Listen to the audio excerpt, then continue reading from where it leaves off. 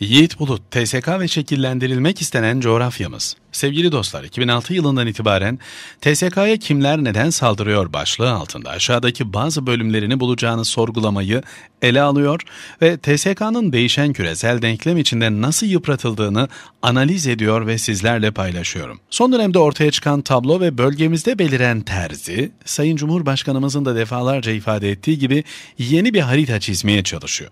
Bu deneme analizimizi yeniden ele almayı ve özellikle paralel yapılanma tarafından TSK'ya karşı yapılan operasyonların sebeplerini daha derinde ve geçmişte aramamız gerektiğini ortaya koyuyor.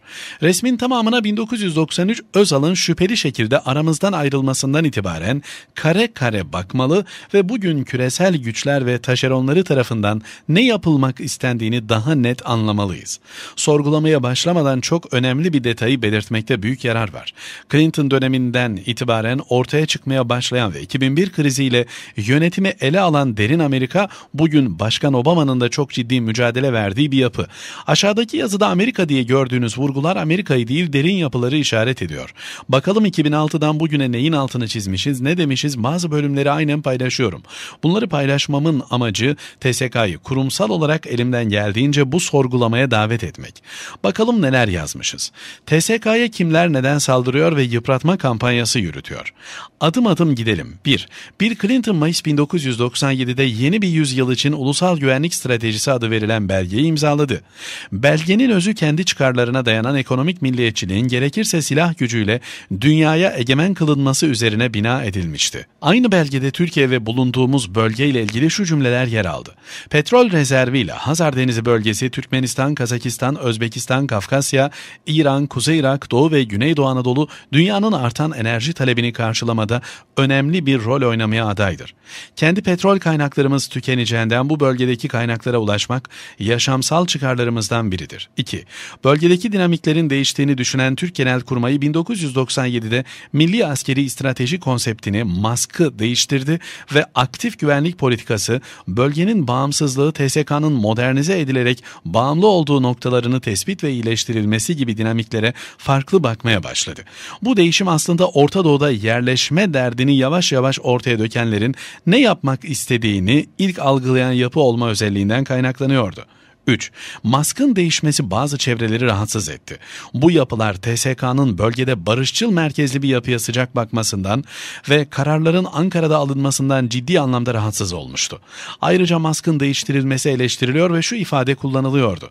Türkiye'nin bölgede bağımsız bir güvenlik faktörü olarak güçlenmesi ve artan askeri gücü bölgedeki istikrarsızlığı artırmaktadır. 4.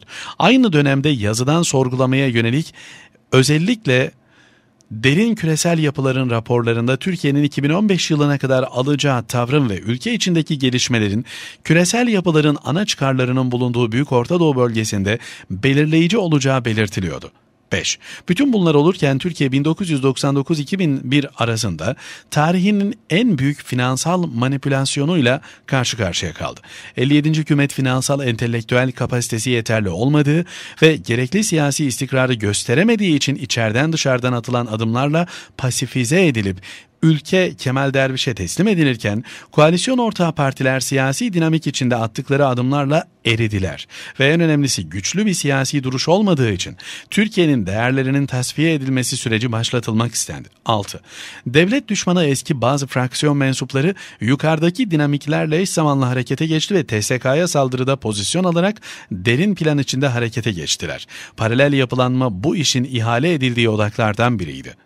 Sevgili dostlar, saldırı daha doğrusu bölgeye biçki dikiş yapma hırsı ve bundan doğan saldırı artık sadece Cumhurbaşkanlığı, hükümet, TSK veya başka kurumlara değil, saldırının şiddeti Türkiye adına çok ciddi bir noktaya geldi ve bence en önemlisi konu artık sadece siyasi değil. Küresel güçlerin harita çizme hırsı akıllarını solladı ve bunu yaparken kurdukları DAEŞ gibi terör örgütlerini kendi amaçları doğrultusunda Türkiye ile aynı kareye sokmak en büyük hedefleri. Çıkarım 1. Yapılmak istenenler hükümeti TSK'yı veya bazı kurumları aşarak Türk devletinin varlığına yönelik bir durum haline geldi ve her Türk vatandaşı olanları ve Türkiye'ye yönelik büyük kalkışmayı net olarak idrak etmeli ve gereğini yapmalı. Çıkarım 2. Ben sadece 2006'dan bugüne savunduğum ana tezden küçük detayları hatırlattım. Konuyu derin sorgulayanlar başladığımız noktadan yola çıkarak çok ama çok önemli çıkarımlar yapacaklardır. Çıkarım 3. Sayın Cumhurbaşkanımızın savunma endüstrisi başta olmak üzere özellikle TSK'nın her türlü ihtiyacının yerli üretilmesiyle ilgili çabasını ve telekomünikasyon ve savunma alanındaki entegrasyon öngörüsünü bu noktada bir kez daha not etmemizde yarar var. Son yıllarda kazanılan hareket etme ve karar vermedeki bağımsızlık yerli üretimle daha sağlam hale geliyor. Çıkarım 4. TSK 1876'dan yani Osmanlı'nın finansal olarak Anglo-Sakson boyunduruğuna sokulduğu günden bugüne neye alet olduğunu, kendi insanıyla neden ve nasıl karşı karşıya getirildiğini, getirildiğini doğru analiz edebilirse Bundan sonrası için özellikle bölgemizdeki terzinin saldırısına karşı oluşturacağı strateji belgesini doğru yazabilir ve doğru adımları atmakta gecikmez. Son söz, TSK bu ülkenin en önemli kurumlarından biridir ve bu ülke küresel terziler ve içerideki taşeronlarının TSK'ya yönelik her türlü saldırısını karşılayıp tepeleyecek güçtedir. Yiğit Bulut, Star